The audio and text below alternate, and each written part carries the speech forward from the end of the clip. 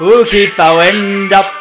And then you know that they've been playing against the famous old dark blues. I've been lied to for so many years by that club that I can't believe I'm celebrating the first win of the season. But a win's a win, and we are back in a big way, is what I'm being told. Because uh, for the last 15 seasons, I've been promised that this is Carlton's season, and then it comes out first round of the season, we get our ass handed to us, and the rest of the population goes, okay, okay, they were just trying to get our memberships.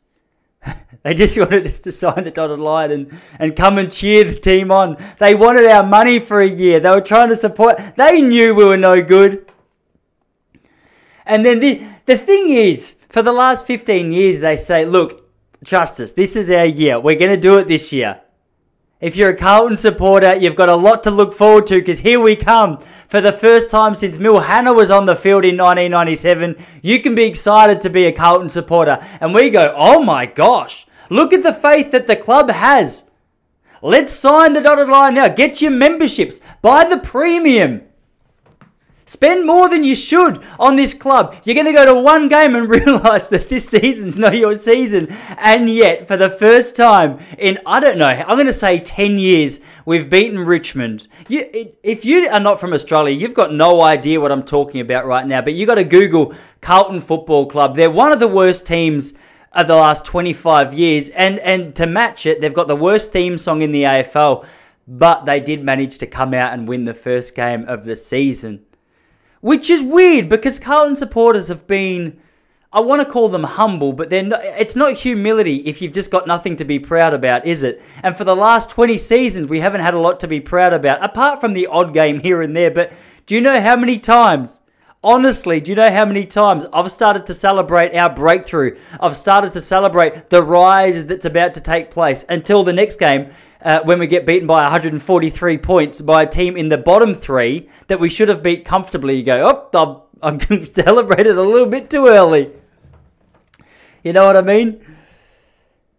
But we did. We won the first game of the season, and and now and now the big hitters have come out. Now the Carlton supporters, who are mostly Lebanese, I'm going to be honest. They're, they're Italian and Lebanese. They they hang on Lygon Street, or they did when Lygon Street was a thing here in Melbourne. But but now they've come out, gone, hey hey boys, we've waited a long time for this, haven't we? Huh? We'll go get some pasta and celebrate the game. What a fantastic performance by our boys! It is so. I feel like we're the team of the '90s, huh?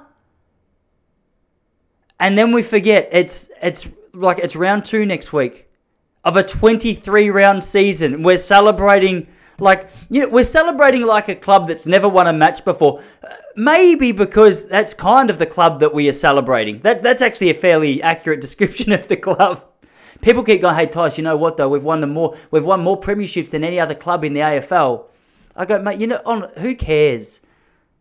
Like, it doesn't matter how many fights you won as a gladiator now. Like, now that that's 2,000 years ago, are we still, are we still claiming? I hear more people talk about Paddy the Baddy than I do about, you know, whoever the, whoever the toughest gladiator was. Your, your claim to fame only goes for so long, then it's void. So, Carlton, let's stop referring to the gladiator days. The 90s are done. The 80s are. Bruce Doull doesn't play anymore, boys. All right? But boys, you look good. Just quietly, you looked real good. I was really happy with what I saw. Well done. I'm very excited. And this over the top downplaying of what I witnessed is, is clearly me just trying to, you know, just. Uh, in fact, I've just spoken about a group of people that celebrate and act in a certain way after a performance by the Carlton Football Club. And what I've realised is for the last two minutes I've been speaking about myself. That was pretty much just a, an accurate reflection on on Tyson Popplestone's household after a Carlton victory for the last 10 years. Boys, we need you this year. All right? I didn't buy the membership, but we need you. All right? Ah, oh, how are you all going, ladies and gentlemen? What a horrific song that is. Have you ever heard the Carlton theme song before? Definitely, if you're overseas, you haven't. This is like a Scottish take on it.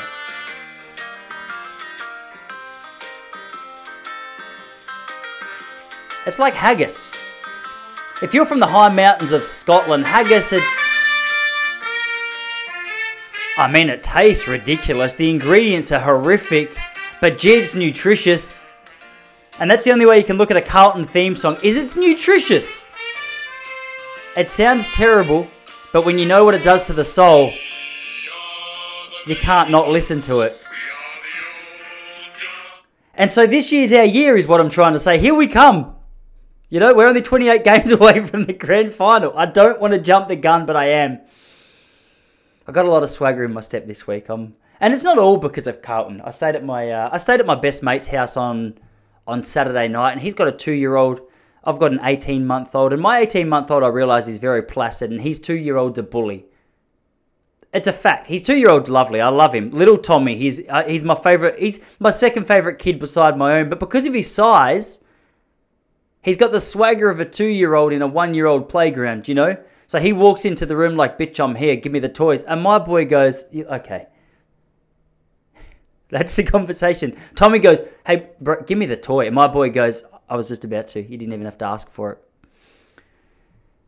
And he's a bit pushy. Every now and then he'll come out and uh, he'll, he'll, just, he'll just give my boy a little hip and shoulder. And I'll look at my boy who doesn't speak yet or understand the... Uh, you know, the psychological benefit of standing up for yourself, not letting people walk over you, not understanding that if you just push back, things won't be so extreme. You won't be bullied if you just if you just take a like my dad used to say. I used to play football in year six, Western Australia, and sometimes I'd kick my football into the year seven area, and I was too scared to go get it. My dad gave me, uh, you know.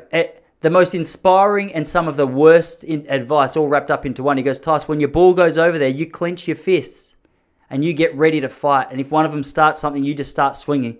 And at the time, I was 11, and I thought, hey, that's a, that's great advice. I can't see any flaws with the argument. I can't see any problems with the approach. And, uh, and and then the ball goes into the area, you clench your fist and you get the shit beat out of you. And it doesn't matter how tightly your, your fists were clenched, because the bigger kids don't care about that, do they? They just want to they just want to show their mates that they're stronger. So so I walked in with a swagger and clenched fist, but that's all fine until you get punched in the head. And so my boy's experiencing that for the first time. But I was sitting on the couch the other day, and you don't want to be an over you don't want to be an overprotective parent. I don't think you don't want to be the kind of guy who can't handle seeing your kid get elbowed to the side of the head. You can't cry because it does it does your kid no favors either. Is I think a fair statement. I think that's fair to say. If you start crying because your kid's been punched in the head, what? How much faith is your kid going to have in, in himself? There's not there's not a lot you can do from there. And so and so Charlie was on the floor, he was holding the TV remote, and Tom came over, he goes, Bitch, it's mine. And Charlie, without saying words, he, he held on tighter, and I could see that. And then and then Tom, he tried to grab it a little bit harder, and Charlie grabbed even tighter. And then Tom, Tom slapped my boy. He slapped my boy in the hand. And I thought, oh wow what's going to happen? And, and, and to my absolute joy, my absolute joy, the coordination of Charlie William Popplestone came to the surface. He got that remote, he pegged it at the side of Tom's left eye. Tom fell down, grabbed his eye, started crying. We were in front of my best mate and his wife. Tom was there holding his eye, looking for sympathy from me. I was doing everything I could, not just to put my hands up in the air and celebrate. You know, I'd never call my best mate's kid a bitch, but but I that was the closest I think I could ever come. I looked at my boy, I gave him a wink. He he looked stunned, to be honest. He looked as though he was he was the underdog in a fight, didn't really believe he could win it, and somehow he won in this David and Goliath story. But he didn't have the faith of David. He had the accuracy of David, and he and he lacked the confidence. But when but when he saw Goliath fall, he said, "Shit, bitch! I didn't know I had it in me." And I said, "Hey, just maybe watch your language, buddy. That's not really acceptable for one year olds. He goes, Dad, honestly, he goes, I'm fundamentally flawed by the the occurrence of which has just transpired in the lounge room of the O'Connor residence. It's, you know, a KO punch, punch wasn't what I was anticipating. But uh, I'm never going to underestimate the power of the mindset to overcome your dragons. And I said, son, for a kid who's never said his first word just yet, that was a that was an incredibly, incredibly powerful sentence. And he goes, Dad, I can say it in Spanish as well. And I said, Son, You don't need to lie to your father. And he goes, I'm sorry about that. I got excited in the moment. I, I thought for a moment that I could convince you that I could that I could do it in Spanish, and, and, and I couldn't. But it was an important lesson to us both. We both realized if you can't speak Spanish, don't pretend you can. You can't come out going, La siento, no hablo español, if you don't know your Spanish. That what I just said there, I'm pretty sure it actually means sorry, I don't speak Spanish. Because my wife and I, we went through a moment of inspiration where we said, okay, we're gonna we're gonna learn the Spanish language. And then we, we got a we got a textbook which it told you how to do it. It explained to you what the words meant. It explained to you the structure. It explained to you that with time, patience, commitment, you could do it. You could be in the uh, you could be in the area for whom the bell tolls was recorded. Ernest Hemingway, 1946. I don't know about the year. Say it with confidence. Let the people believe. And we got halfway through the first, I'm going to say 25 minutes of our lesson and we realized we had no interest. And so instead of learning Spanish, we simply learned in the Spanish, Spanish language, La siento, no hablo español. Which means I'm sorry, I don't speak Spanish. But if you say it with enough confidence, if you say it with enough of a, a twang, La siento, no hablo español. People go, man, it's, it's the equivalent of seeing someone in, in Australia go, mate, sorry about that, I, I don't really speak very good English. But you hear that in perfect English and you go, is this guy taking the piss? And and we had that quite a few times because I, I bought the I, I bought the sentence out uh, in our travels through Spain and I said it. I'm the kind of guy I like to commit. La siento no hablo español. I'm from the Barcelona. You know, I chuck the lisp in there from time to time. I'm not 100% sure if I was in the right region for the for the lisp, but anyone who says Barcelona sounds as though they belong in Spain if you don't understand the reference to the lisp getwelltraveled.com is a website I'm going to send you towards. I'm not sure if it's an actual domain name, but you should check it out. It was me having a go at you for not getting my cultural reference. Because if you can't talk shit about the culture, about the countries that you've been to, what can you talk shit about? Don't want to start this with uh, with too much heavy philosophy, but it seems like a it seems like an appropriate question.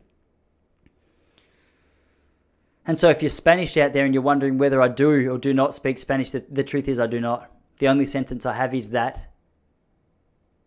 But I love your language. I love what you're about. I love. Uh... When I was in Barcelona, I love. They had a couple of little coffee shops there that I was a really big fan of. Because the thing, the, deceptively, as a bloke from Melbourne who who's been exposed to a fair amount of good coffee in his time, there's there's not a whole heap of good coffee if you're speaking about, uh, you know, the style of coffee that you get here in Melbourne. Here, Melbourne coffee is served with a with a whole heap of wank. Do you know what I mean? From the froth to the haircut, you go in, you see a guy with a front mullet, a neck tattoo, a shit watch from the '60s, telling you about how socialism is actually a good idea for the future of our country. I go, cocky, just make my just make my coffee. I said, "What are you like? What are you doing?" And you have a chat to them about how about what's going on in their life, and they're all I don't know what it is. It's there's this weird thing about like a 35 year old woke dude working in a cafe. It's not even a 35 year old woke dude who works in a cafe. It's just it's just Melbourne in general. I'm not sure what it is, but but Melbourne, you do my head in with this, and you need to stop.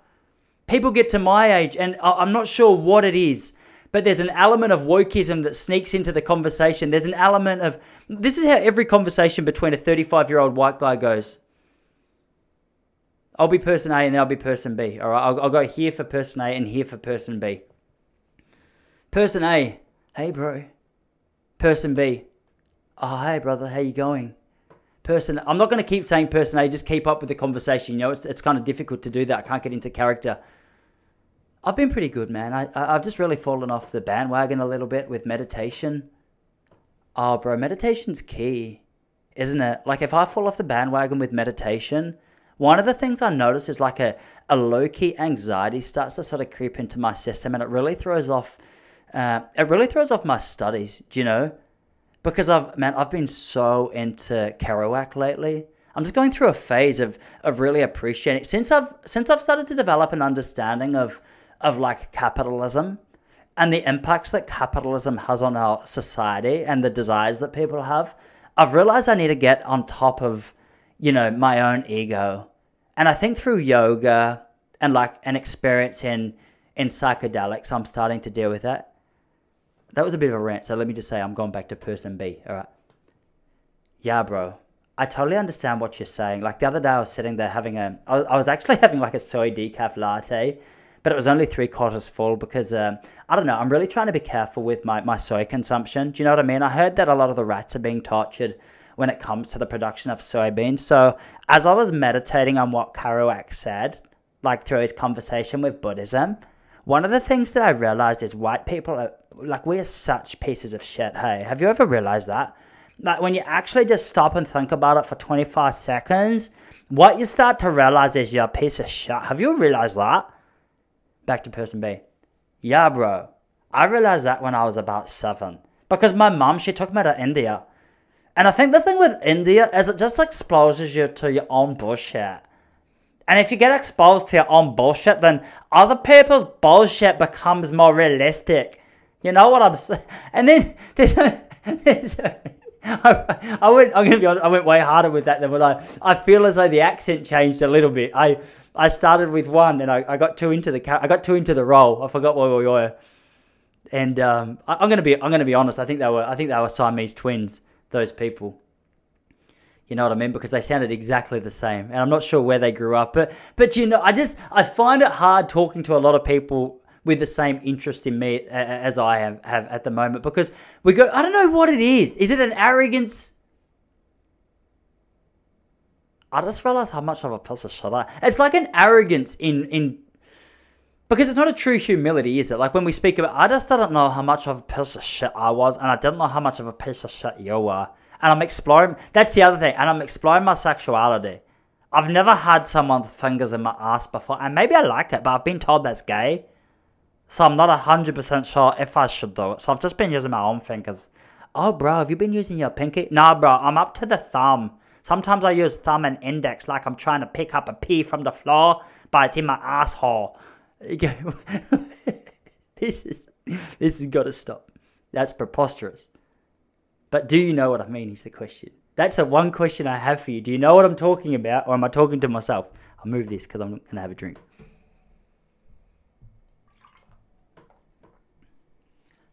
Hmm. Because we don't like religion anymore. We don't like religion, but we like uh, we like we, I don't know. I don't think it's I don't think it's unique to our generation either. I think it's been around there for a little while, but I've just started to notice it. I notice it in myself sometimes when I'm having a deep conversation with someone. I, uh, maybe I just get too sensitive about the word meditation. I hear the word meditation now, and I go, "Oh no, I just sound like that flog." Do you know what I mean? Then I met an Indian guy. This is true. I met an Indian guy at the park this morning. I went there to do a workout and I saw this guy in barefoot shoes. And I thought, well, this guy's this guy's going to be an interesting guy to talk to because no one runs in barefoot shoes without putting some serious thought into it. So I said, "Hey, how you going, mate? Your calves look fantastic." True start to that conversation. He um, um, it's quite forward from man to man at 7 a.m. on a on a Monday morning. But I mean, there's no there's no insult there. His calves did look fantastic, but I just wanted to get into the conversation. And he was telling me that he gets up at 4 a.m. every morning, starts with an hour of meditation, starts with an hour of yoga, then he goes and watches the sunrise. And uh, he was, I thought he was Indian as we were speaking to him, but what I realized through the conversation, mainly the, the, the thing that helped me realize it was, was when he told me that he's Sri Lankan. I thought, ah,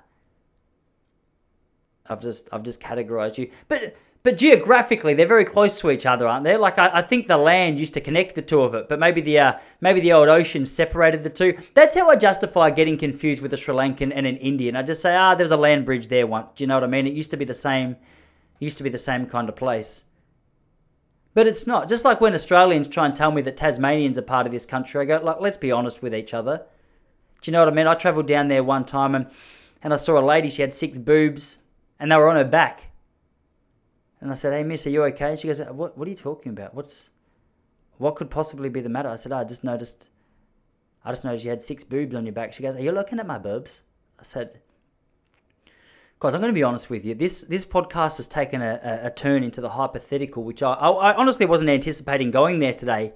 And now I'm just making up story. I've got a I've got a I've got a page filled with with notes, and I wanted to talk to you about what's on this page. And now I'm getting caught in hyper. Uh, essentially, what I'm trying to say is I've I've, li- I've lied straight to your face. I'm I'm lying to you. none of the that story about the lady with six boobs on her back. I, I think the reason I'm clarifying is because I, I'm pretty sure that you already knew that that didn't take place, and and just to recognize the fact that I I know that you know I had to call myself out on it. Okay. But in fairness, I haven't been meditating, so honesty is not really a really crucial part of my um my sort of personality right now. It's not even funny. Oh my gosh. Hey, the World Indoor Athletic Championships have been taking place this week. Come on, ladies and gentlemen. Africa represent. Just, literally, like I'm the only events that I follow is is the middle distance running. So it's it's it's actually only Africa represent, which is it's funny to me because growing up, my, the people I idolized most, the people that I wanted to be more than any other person was an African athlete. I wanted to be from a tribe in Kenya because the Kenyan tribes they seemed to produce middle distance runners that I could not believe. And then at school, in about year 11, people started saying to me, uh, but hey, Tice, who do you think the best runners in the world are? I said, oh, 100% the Africans. They're like, well, that's a bit of a stereotype, bro. It's a bit of a stereotype. What? Like, do you think just because of the color of their skin they can run? I said, no, no. It's got nothing to do with pigment. It's got to do with uh, altitude. It's got to do with countries. It's just the majority of the people in that particular country have a they got a little bit more melatonin in their skin. Is it more or less? I think it's more. They got more melatonin in their skin. And they said, bro, that's like a it's almost a casual racism that you're bringing to the table. I go, no, no, it's not. It's just a fact that these guys are better than white people. It's like, ah, oh, better than white people. Yeah, sorry, I thought you were saying that. I got confused there. I thought you were saying that you were better than them. It's Like, no, no. Like it was really strange because people. I remember I had a conversation with a bloke a few years ago, and uh, we were sitting in a cafe in London, and the the run had got a little bit tense because halfway through the run, I realised that we just saw the whole world in a completely different way, and because uh, he the the problem was he told me that he'd gone out to watch some comedy and. Uh, Anyway, without getting too far into it, we just we just butted heads. And he started going on about how casual racism is a huge problem in Australia, and I was like, man, what what are you, what are you talking about casual racism? He's like, oh, it's where it's where like a white person thinks thinks that they're better than a black person. Do you know what I mean? Thinks they can speak down to them and blah blah. I go, well, it's man, I've always felt the opposite of that. I always felt like if there's a Kenyan in the room, I shut up. Because here's the thing: when you're a 15 year old kid actually more accurate story when you're a 25 year old kid and you see a 15 year old kenyan kid absolutely kicking the ass of your personal best times. You're at the peak of your running ability. He's he's just stepping onto the scene. There's an element of respect when you train hard for that sport where you go, oh, I wish I was that kid. All I want to be is that kid because he's dominating in the area that I want to be. So I found out that that people had a problem with with like this casual racism when I was young, and I was like, bro, I feel the opposite of it. You know, I would have I wanted to be the I wanted to be the blackest person I knew because it, it, it pretty much guaranteed, fact, pretty much guaranteed that you're going to be the fastest runner in the field. Fact. It, Google it. Have a look at the first. Actually, this this stuff's up. Have a look at the first three places of the uh, the men's 3,000 meter indoor championships. Bloody Mark Scott, UK athlete, he stuffed it for me because it wasn't a super super fast race. So naturally a white guy can stick around for uh, for a fair bit of the pace and and then just get out sprinted at the end. But he did a fantastic job. Mark Scott represent really proud. However, have a look at every world record from the 100 meters to the marathon and tell me I'm not onto something. 100 meters, Usain Bolt. 200 meters, pretty sure Usain Bolt. 400 meters, Van Niekerk. Lighter, but you know, there's something. There's something. 800 meters, David Rudisha. 1500 meters, Hicham El Guerrouj. 3,000, Daniel Komen. 5,000, I can't keep up anymore. 10,000, also confused, Marathon Kipchoge. Am I onto something, ladies and gentlemen? The answer is yes. But no one likes talking about distance running. So I'm not going to spend too long here because the fact is I, I learned the hard way that, that you don't talk about distance running with people if, if you want to hold their conversation, if you want to hold their attention. Mainly I learned that through my wife. I started saying, hey, babe, a really good 3,000 meter race. And I would get to that point of the sentence and she'd be asleep. I go, oh, she must have, like, first couple of times I go, oh, she's tired. And then I go, hey, babe, there's a great 10,000 meter, bang, sound asleep. Hey, sweetie, I'm thinking about running a marathon. Dead. She died. She actually died. Third time. she didn't. I don't need to clarify because you guys know she's still alive because I post her on Instagram regularly. I don't know why I did that high pitched thing with my voice just then. there's a weird thing going around at the moment. It's a weird little phase where it's a. They say bye Felicia. Have you seen that? Bye Felicia. It feels so good to say it. But you got to choose the right moments to say it because I um I, I start using it in moments or, or with crowds that, that aren't anticipating it, don't really know what it is. And the joy's not if you start going bye Felicia, I don't even know what it's from. I don't even know what it is that I'm doing. I just worked on a radio show for a while, and at, at, at the end of the show, uh, Joy, the, the lovely girl I used to work with, she'd go, Bye, Felicia! And I just thought she was tripping for months. I thought she saw a lady behind me, and, and then I started saying it without even clarifying what it was that she was that she was doing. But if you if you're in the wrong environment, you start doing stuff like that. you're not going to make any new friends, really. Do you know? Like if I I stay with my mum sometimes and I start just chucking out things like that, she goes, "Oh, what, what, what's Felicia?" I go, "Ma, don't don't look too far into it. Do you know what I mean? Just I reckon maybe just let it slip. Just let it go a little bit. I don't want to spend too long here, you know. Anyway, hmm. Wish I knew where any of these thoughts were going. I mean, we're here. We're here together. We're here together. As I said, page full of notes. Page full of notes. Let's get a let's get a little bit of a a little bit of what's happening in the world of Twitter this week. But before we get into a little bit of the world of Twitter this week, let's have a look at um, oh, what's his name? I've completely blanked on his name. Guitar solo. He's like a U- Ukrainian guy guitar solo. I've blanked on his name, so let's just. I can't use some of these songs as well because Estas Tonne. Here we go. Thanks for your patience, ladies and gentlemen. It's been a tough day in the Popplestone household. Let's uh, let's use this as the theme song for a little bit of what's going on in the world of Twitter this week. I listen to this sometimes when I'm doing my comedy, you know, just, uh, Jesse calls it elevator music. I go, baby, that's insulting.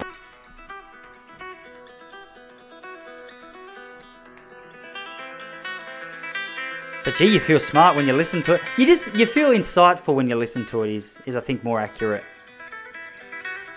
There'll be no monetizing this video on YouTube today, based on the fact that I'm breaking copyright laws left, right and centre. Estas Tonne. I appreciate you, brother. But what's happening in the world of Twitter this week? What's trending? Because, uh, I mean, it's an interesting place just to see what's going on. Nothing's trending. I'm clearly on the, I'm clearly on the wrong page. How do you? I'm not 100% sure. This is for a podcast which is required to entertain. I've just done a poor job, but from that's the last time we hesitate. All right, there's there's going to be no what's happening in Trender and no no what's what's trending in Twitter this week because uh, I just can't get myself together. I can't get myself organised to bring it to you. So I want to tell you about something this week because I've I'm trying to work on my ability to be a troll. I'm trying to work on my ability to be a uh, uh, what are those people called where they, they just they throw a spanner in the works? They throw out something that's a little bit witty, a little bit clever. Uh, uh, it is. It's an online troll. Michael Malice does it well. I think he's one of the best, self-proclaimed one of the best trolls going around. And, and, and there's something about the guy I like. There's something about him I respect. And I thought, hey, you know what?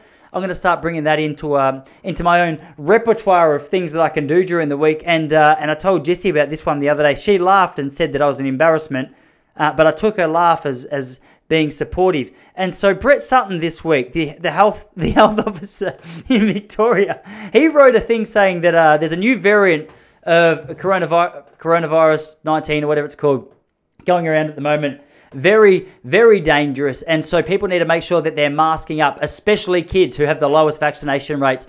And uh, I thought, all right, it's my time to shine. And so, ladies and gents, are you ready for my response? Buckle yourselves up because it was a good one. Uh, the BA variant is uh, on the rise in places all around the world. As kids, uh, as kids are some of the most unvaccinated people groups in our country, it's important that we remain masked up. All right. Tyson Popplestone response. My kid got his mask stuck in his asshole. How do I get it out?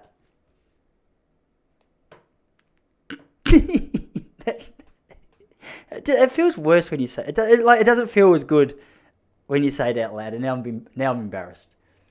I thought I I thought I got him good. All right, I thought he's not going to be able to have a comeback for this. And he, he, he didn't respond, but I don't think it's because he didn't have a comeback. I think it's because he he probably just thought I was a troll, which, which I was. But yeah, it, it's hard to be a good troll because I think the best, I think the the most important element of being a, to- a troll is uh, well, first of all, you've got to you've got to have a little bit of you got to have a little bit of intellect in the troll. Do you know what I mean? And, and and I guess if I'm being honest, upon reflection to that that troll attempt was there wasn't much intellect. I just said my, my kid had his mask stuck in his ass, which. Uh, but that's the thing. You've got to just gradually get better at what you do. It doesn't matter what field you're in. If you hang around for longer, so honestly, hang around here till 2023. I could be one of the best trolls going around in this nation. But at the moment, you guys got to witness the birth of my uh, of my desire to be just that. And uh, I'm gonna be I'm gonna be honest with you. As I've said it out loud, I've realised that it probably wasn't the uh, you know it's not going to be the strongest tweet that I ever have. I'm also relatively confident that it's not going to be the worst tweet that I ever have because I chuck a few out there. Good friend of mine told me that I hit about one joke in 10. So I thought, well, what's important is consistency. I've got to just keep chucking jokes out there, which is, you know, you risk being highly offensive, you risk upsetting your wife. Every now and then you call your mum a tart. but it's all in the name of humour. You can't just be you can't just be uh, Mr. Hundred Percent. You know what I mean? You can't hit every shot you take. You can't conceive every time. I don't know why it has to go sexual all the time. But you can't conceive every time you, you try to. Unless you're me green juice and push-ups, baby. I don't know what's going on there, but I'm venomous. That's there's so many things I'm doing in this episode today. Like what are what what is that? Never do that. You should never do that in public. There is no place where that's acceptable. You can't growl into a microphone and and not be cancelled. Tell you what, there's only so many bras I can get sent to me, but ladies, I'm married. I've told you that. It's going steady. And I'm not organised enough to have an affair anyway. Uh, that's not the most important factor of why I'm not having an affair. I'm not having an affair because I love my wife with all my heart and my kid with all my heart. I love the family unit we've created, but I just I need to clarify something. Those of you who are having affairs, congratulations on your admin skills, especially if you're doing multiple. I'm not congratulating you on the affair. I'm congratulating you on your admin skills. You know, I don't have a membership to Calendly, but if I did, I wouldn't use it. Whereas you, at least you're committed to what it is that you're doing. Not your marriage necessarily, but I mean the the extramarital stuff. That takes organization. I have currently on my phone right now, I'll be honest with you, I'll even show you my ah, it's not going to look as good because my wife went through the other day because it was stressing her out that I had so many. I have currently on my phone Oh, it's not even impressive anymore. Okay. I've only got like 12 unread messages, but the other day I had 126. If you got 126 missed messages on your on your phone service, then your ability to have an affair is it's it's highly it's highly up in the air because I say it only because if you're trying to organize extramarital stuff, you're going to have to say, okay, well, I'm doing such and such with my family and my kid at this time, and then at 7 p.m., uh, I don't know why it's seven. It just seems like an appropriate time. We're going to try. You've got to. There has to be a little bit of back and forth. Because if I was, say, if I had a, say, if I had a really high profile, do you know what I mean? Even higher than this, this podcast is allowing me to have, which is significant. It's a significant, it's a significant profile. But I'm saying, if say you're a Tiger Woods of the world, all right, I'm sure he's got people organising his affairs for him. But but if you're a Tiger Woods of the world and you're trying to do it by yourself, it's just it's too much organisation because you got to tee off at eight, and then you got to go and do strength and conditioning from say say you played nine holes in the morning. Uh, strength and conditioning from 10 till 12. Then you want the driving, you're probably going to have a bit of lunch. Driving range from 1 till 3. And then maybe a fair 3 till 3.45 because you've got to go back and work in the bunker Do you know what I mean? Got to go back and play the back nine, pardon the pun. if you're Tiger Woods and you're not playing the back nine, are you really Tiger Woods?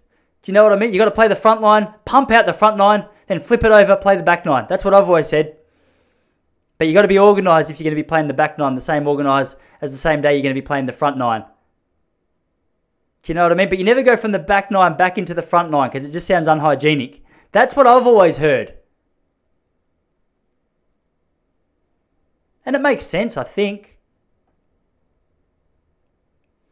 I mean, it brings a whole nother meaning to 18 holes, doesn't it? Because you Tiger Woods, you play 18 holes, then you go have a committed affair with seven other ladies. Is it 18 holes or 25 holes? You tell me. Depends which ones you go into. Ladies and gentlemen, I need to apologise for this podcast today. It's horrific. To think I was a youth pastor. You know, I met my wife at church. I met her at church, which is a it's a dangerous place to meet someone because they're very serious in the world of church, especially when you're young. And there's a lot of big calls that are made in the church world. What do I mean? There's a lot of big calls in the church. Well, let me let me just clarify. There's already enough pressure on an early relationship to work, but in the world of church, here's how it works. Standard pickup line from a 16-year-old kid who was raised in the church, going up to his girl. You ready? Hey, Sarah, how you doing? Oh, hey, Johnny, I'm going well. How are you? Yeah, I'm pretty good, pretty good. Hey, uh, hey, Sarah, I've uh, I was praying last night. I was having a I was having a pray, and I, I just felt I felt God sort of say to me that that you and I have got something. Do you know what I mean? Like you and I might have something going on that it could be something a little bit more serious. Back to back to Sarah, just for clarification. Oh wow, Johnny. Um, what did, what did you feel like God was saying to you? We're gonna have five kids. Holy shit! Holy Lord Jesus! I mean to say sorry, Johnny, about my language. I panicked just then because of what you just said. How uh, you bit like, genuinely, are you pretty good at hearing from God? Never missed. Never been wrong. Never ever had one thing wrong. Oh, there's a lot of pressure. Um, so God said this. He, I, so what? What specifically did he say? Well, uh, look, I, I said to him, "Hey, uh, dear Lord, please put on my mind who I should marry." And you came to mind. Oh, oh, um, well, you know, I've got a lot of faith in what he says, so maybe, should we get coffee? Bang, the date's sorted. Just like that. So, what I'm saying is in the world of church, this is how dates are organized. How are you going to, uh, if you call yourself a believer and someone comes up to you and says, The Lord Himself told me that you and I are getting married, and there's no questions to be asked, how do you argue with it? What, you got no faith in God? Heathen. Heathen! Because what's poor Sarah supposed to do in that situation? I didn't tell you that Johnny's got no eyes and a lisp. He's short of hearing, he's overweight, and she's not attracted to him in any way. But he's used the Lord Himself as the reference point as to why this relationship should work. And and Sarah, who I didn't tell you is a 10. Also in the youth group is Michael. He's a 10. He likes Sarah too, but he didn't use the God told me we're going to get married trick. And as a result, I, I went on a date like that when I was 20 years old before I met Jesse. I'm look, I'm not gonna I'm not gonna make a big deal out of it, but I'm gonna say there was a couple of girls at the church that I had my uh, I mean, I had a choice. I had a choice of, you know what I mean? I, I had my options, is, is what I'm saying. What I'm saying is, I went to eight different girls and I said, hey, look, God told me we're going to be together. you and I are to be. Because you shouldn't use the Lord's name in vain, but also you should keep yourself open to as many opportunities as you can because if you only tell one girl that God told you that you guys are going to get married, what about the other seven that might believe it's true? because not all the youth girls have their uh, not all the youth girls have their faith as solid as they should be. They not might not buy into your let's be honest, flat out manipulation to date them. And so I went on a I went on a date one day, and uh, it's funny what you notice on first dates. I I so this this chick came up. Uh, she didn't come up to me at all. Her brother came up to me and said, "Hey, I reckon uh, I reckon if you took such and such out for a date." she would say yes. And I was like, oh no. Because I was relatively new to the world of church. And I just thought it meant that, all right, well, I, I guess that means that me and this chick are going to get married. So I went up to her and I said, hey, and she was pretty. I liked her. Like, she was attractive. And so I, I sent her a message. I said, hey, you want to go get dinner? And she said yes. And then we're sitting there and have a little bit of dinner. And she had a, she had a little tiny mouth, little little tiny. It was just a, it was just a weird observation. As we were sitting there, I uh, I thought, hey, you got a your mouth's tiny. I, I think I noticed because we're having noodles and you only opened it just far enough that a noodle could go in. And I thought that was a. I mean, it's no, it's no, it doesn't, it doesn't matter. My nipples are bigger than they should be. I'm not, I'm not here to judge other people's bodies, but I'm just saying it was, it was one thing that I noticed. Hmm. Little tiny mouth, but, but then the awkward thing was old, old Jessica Popplestone, my wife, now came out to me because the truth was, I asked Jessie out a year before. I've told you this before. I asked her out a year before she said yes. I, I messaged her no, I didn't. I bought her a teddy. I bought her a card. I put it on her doorstep, but I said, hey, girl, I know someone who likes you. And she spent the whole next day trying to figure out who that person was. So I messaged her best friend, Nadia, and I said, hey, Nadia, just trying to find out what my future wife is saying because I haven't heard back from her and I've been anticipating a message back the whole day. And she started Nadia started pissing herself laughing. I said, Hey, Nadia, just when you stop pissing yourself laughing, want to explain to me what the hell's going on? She goes, Oh, we just had no idea who it was that sent that to Jesse. And I was like, Hang on a second, because I had laid the groundwork beautifully. I'd sent a message to Jesse days earlier saying, Hey, yeah, I know someone who likes you and explained all my features. She wrote back, Sounds good, too good to be true. Slut She doesn't listen to the podcast, you can say it. Like, that's my wife. You can't say that. She's, she's that is a horrific thing to say about your own wife. but seriously, slut. No, you can't. I said, stop it. That's the truth. That's the that's the final statement. All right. Oh no. Um. Okay. Sorry. I'm going to edit that part out. You can. That's yeah. I'm in so much trouble. One of these days she's going to listen to it and she's going to go, oh my gosh. The things that you say. She's pregnant with our second child and I'm saying these kind of things. But that's the thing, it's a joke. Don't take it so seriously. If you're taking it so seriously, it's your own issue, isn't it? I'm pretty sure the issue's all mine. I'm pretty sure there's a clear line that I've crossed. And and that's what learning's for. But uh, but she came back to me a year later after I put in the groundwork and uh, you know brushed my hair the right way, pretended I had interest in music, and told her I was going to be a youth pastor. And she was like, "Oh my gosh, now you're starting to talk my language." I said, "Truth is, if you had told me you wanted to be a pharmacist, I probably would have told you I was going to do that too." But here we are, one kid in, another on the way. Boom, boom. Green juice and push-ups, baby. Conception Ingredients 101. One powerful venom? Green juice and push ups. Want to have a kid? Green juice and push ups. Not sure if your marriage is going to survive this podcast episode. Sincere apology and editing. I'm going to roll the dice. Let's live on the edge. I heard, I listened to, uh, what's that book called? Fear and Loathing in Las Vegas. Got to roll the dice. Got to take the ride. What's the expression? Got to cross your fingers and hope your wife doesn't divorce you. That's what they've always said. But isn't that incredible? Just the pressure that you've got to be able to uh, navigate your way through in order to get out of a date with someone who's telling you that the Lord Himself has teed it up.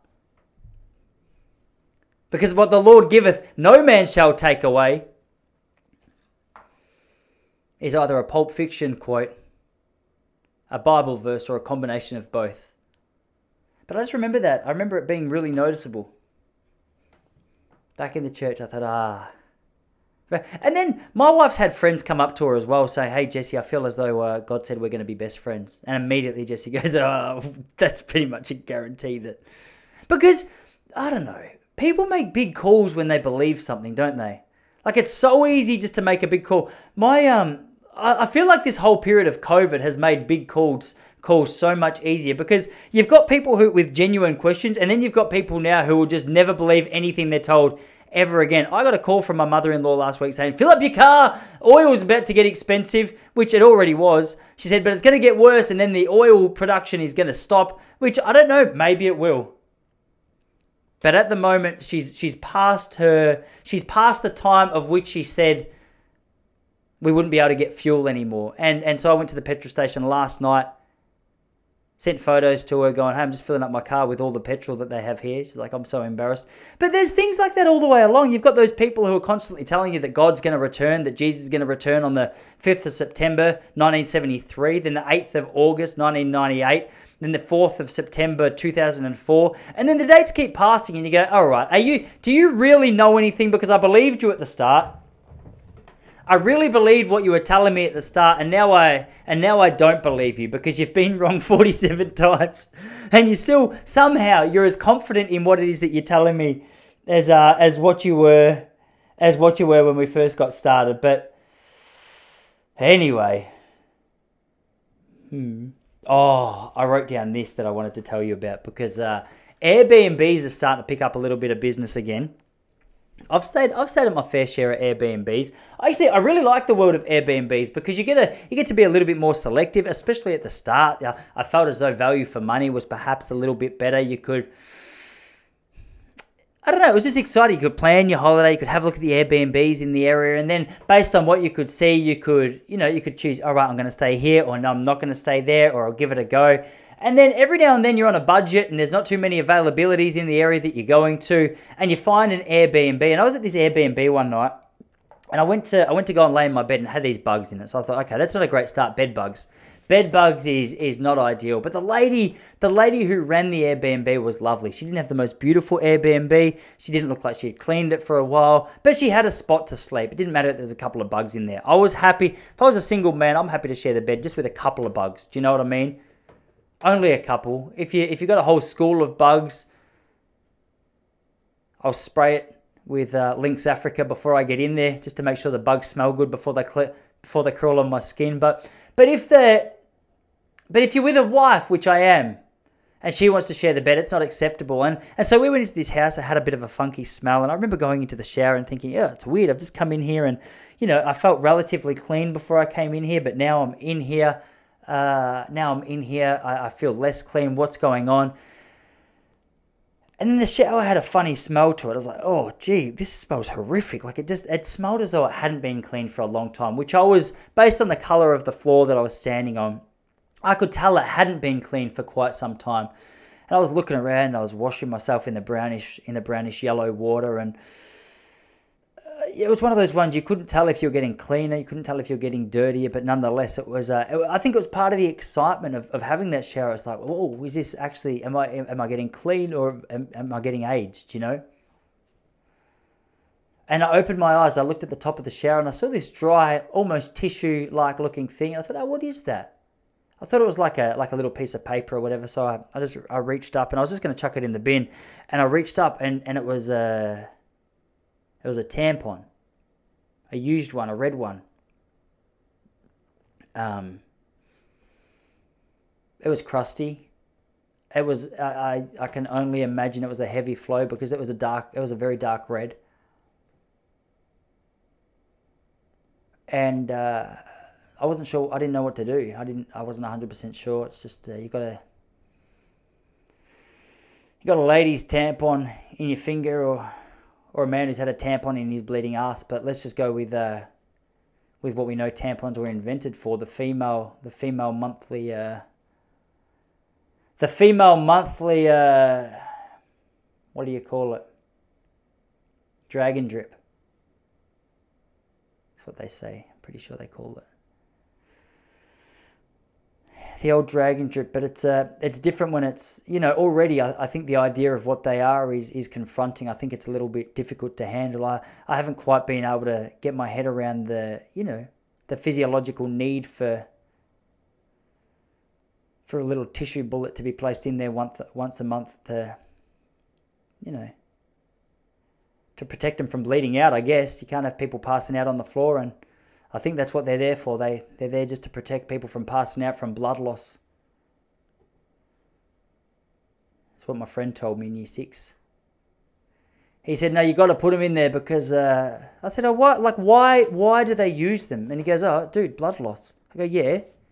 He goes, well, if if it, if the blood just keeps leaving their body, they'll pass out. They won't wake up. Who's going to stop the flow? I was like, oh my gosh, is that actually what they? Is that literally what they're for to stop women bleeding to death? He's, dude, do you know nothing about the female body? I was like, obviously not. And uh, you know, I could never look at people the same way again. I could never look at females the same way again. A little bit like when you see a girl in year six who's just hit puberty, and you see that she's she's copped a she's copped an armload full of underarm hair, and you go, oh, what what's happened? Why is that happening?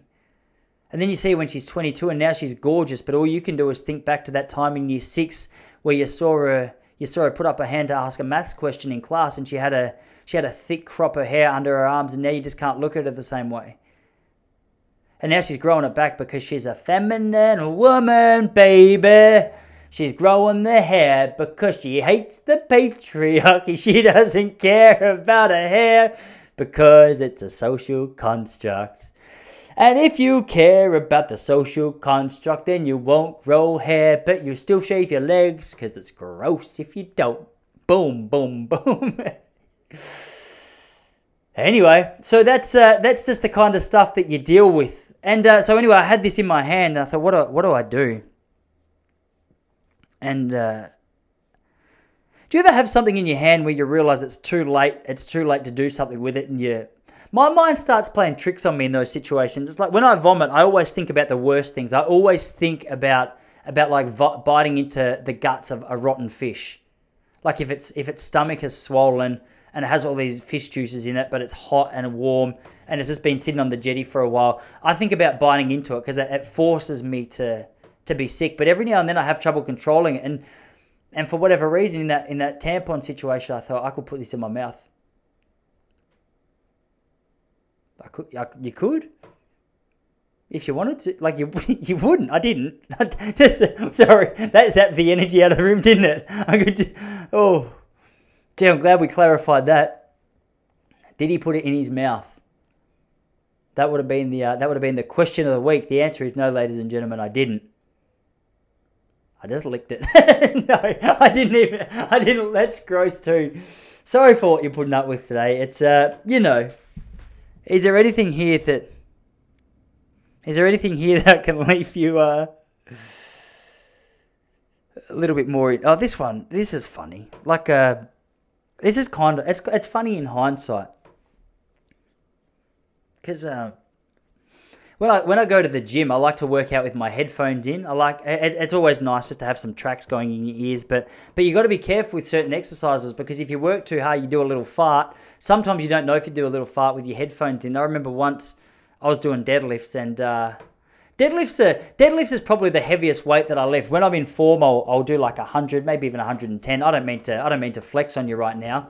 Do you know what I mean? But uh, yeah, can deadlift. And uh, but you got to be careful because if you have a bowl of beans before you go do your deadlifts, you're in danger. And if your music's up too loud, you might have a little whoop whoop, a little uh, a little a little bumsing is is what they call it. And uh, I, I just think you just got to be careful. So uh, maybe this is more of a public service announcement, just to be able to say to you guys, hey, if you're going to go to the gym, you're going to be doing deadlifts. Make sure you haven't got your headphones in if you've just eaten beans. If you've gone to Nando's and you've had the uh, the red bean curry on top of you. I don't even know if that's an option, but if you have, if it turns out that it is an option, just just be cautious. Turn it down because uh, it's embarrassing when you do a little fart and you don't know if people have heard it either. I think that's one of the most embarrassing things. I would yeah, no, you would rather you would rather do a fart and not be sure if someone's heard it than do a fart and be hundred percent sure that everyone's heard it. But still, the te- because if I heard a person do a fart in a place that they weren't supposed to be doing a fart, like if I was at the gym, this is I was at a gym one day and I saw a bloke doing uh, he was doing seated uh, he was doing bench press but with the dumbbells and he used to lift his legs up and he used to have those old tiny blue plumbers shorts. I think not they're not plumbers shorts, but they're like uh, they're very very short. And I remember uh, looking across at him and uh, and as he had his legs up in the air, he obviously didn't have jocks on, and his nut had just flopped out the bottom of the short. And I was, he was, he was just, you know, he was working away, going, and the nut was gone, and he would go, bush, and it was like, you know, I was like, oh, please stop doing reps. But poor bugger, he was obviously, uh, he wasn't working at his at his maximum because the truth was he was doing reps for far longer than he should have. And I was just standing there watching his little nut just going, and you want to go and tell the bloke, but how do you how do you address a bloke about the fact his nuts popped out the bottom of his shorts without wrecking his afternoon? You can't just go up and go, "Hey mate, how you going?" I uh, just want to give you a just wanted to give you a little heads up that your bowl bag was popping out of the bottom of your shorts because he goes, "Oh, that's that is so incredibly embarrassing."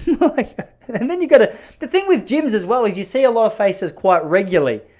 So you see a lot of faces quite regularly, and and if he saw me quite regularly after after that incident, he's going to look at me as the bloke who had to inform him about the fact his ball bag was flopping around during that. So it's always hard to know what the best way forward is. So if if you heard someone fart, I guess it comes in the same territory. I wouldn't want them to be embarrassed. I'd have a little quick look. And then I, I do like watching people when they've done something wrong. Like if someone bumps their head, or what I like seeing people just trip on nothing and then look around at the ground like it was the ground's fault. And Look around like, what the hell? Who the bloody hell tripped me up? I'm just trying to go for a bloody walk in the park this afternoon, and some cockhead bumps stepped up. He's just he's just stepped his foot up, and now I've tripped. And then he looks back and it looks like he's annoyed at the ground, but really he just needs to lift his feet when he walks. He's been sitting down at an office job for too long, so his gait's a little bit thrown out. He's not 100% confident in his ability to lift his feet. Or, in fairness, he could just have had a really bad day. He's just having a tough. He's, you know, he's just not lifting his feet because he's a little bit upset. And in that situation, uh, you know, you probably shouldn't be so hard on the bloke because he's already had a hard enough day. But I don't know. What's the right thing to do in that situation? Do you tell him? Do you not tell him? Do you look? If you go to the toilet and you flush it because you need to do a little poo and the whole thing doesn't flush, do you take the risk and walk outside and, and hope that there's not someone waiting there? I always get nervous about that. If I ever go to the toilet for number two and then you and then you flush because the, the, here's the game that you play. If you're going out for a public poo, if you're at a restaurant, you're like, oh, gee, I need to do a poo. You go in there. It's a relatively it's a relatively popular toilet. You know, there's it's a busy restaurant. They've one toilet. It's in Melbourne, so it's it's uh, gender neutral. They don't care who goes in. Doesn't matter about the fact that I get embarrassed if I've done a little poo. That little pretty girl's going to walk in, know know that I did a poo. But then here's the here's the here's the dice that you roll. So you go in there. You want to be quick, especially if you're doing a poo, because you don't want people to know it's a secret. You don't want people to know that you're doing a poo. You got to go in, get it done, boop, flush, out because then they'll assume that the person who did the poo was the person before you because you were too fast.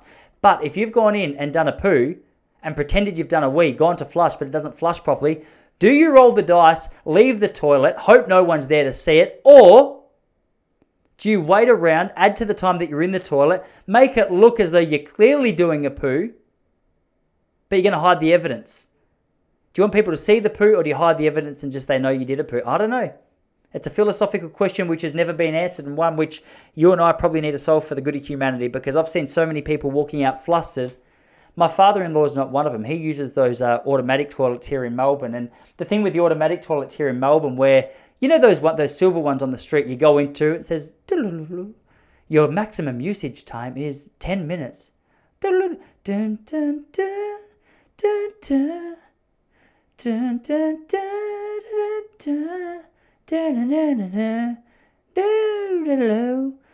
Well, he was doing a poo in one of those, and then it automatically unlocks after 10 minutes because they assume you've had time to do your thing. And then the door opens, and he, he had to do the old scurry over with his pants around his ankle, and there were people over there watching him. So he's he's got his pants around his ankle, clearly doing shit because no man wears like that after grade two.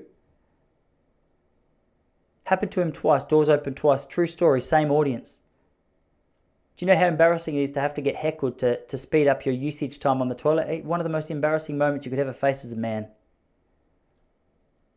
And that's why we've got to solve these things together. Ladies and gentlemen, I can't be around for too much longer because I've got lots to do this afternoon. But I hope you have one of the most fantastic weeks that you've ever had. I hope that this week's the best week you've ever had in your life. Until next week. Anyway. I really hope you enjoyed that. Gee, we went on, we went on a journey together. Is the truth. You and I went places today. We found out some stuff about each other. I said some things I shouldn't. You know, I'm not going to edit this podcast, but I should. That's a laziness factor that I need to work on. But hey, ladies and gentlemen, this has been Pop Culture Podcast. I'm not sure what episode it is, but we're getting through them. Thank you for being here. Enjoy the rest of your week. I'll see you all here next week.